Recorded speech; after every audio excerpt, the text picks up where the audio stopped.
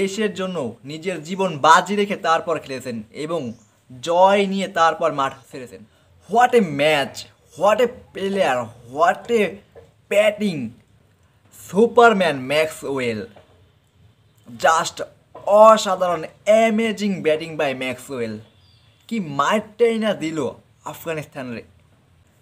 আমার জীবনে আমি যতগুলো খেলা দেখেছি, যত খেলোয়াড়ের ব্যাটিং দেখছি সবচেয়ে সুন্দর, সবচেয়ে আকর্ষণীয় ইনিংস হলো ম্যাক্সওয়েলের এই ইনিংসটি সত্যি অসাধারণ জাস্ট ওয়াও মানে বলার কোনো ভাষা নেই যে তাকে কি বলে সম্বোধন করা যায়। এত সুন্দর ব্যাটিং করেছেন। তিনি হাঁটতে পারেননি ঠিক মতন, দাঁড়াতে পারেননি ঠিক মতন, দৌড়াতেও পারেননি ঠিক মতন।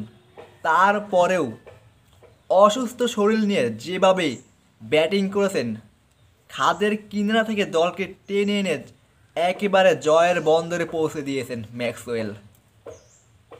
সত্যি অসাধারণ। মাত্র একশো আঠাশ বলে দুইশো এক রানের অপরাজিত একটি ইনিংস। সত্যি অসাধারণ।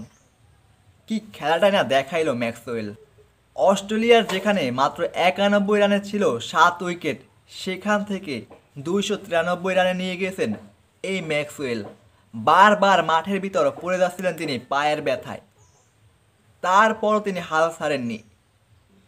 দেশের জন্য নিজের জীবন বাজি রেখে তারপর খেলেছেন এবং জয় নিয়ে তারপর মাঠ ছেড়েছেন।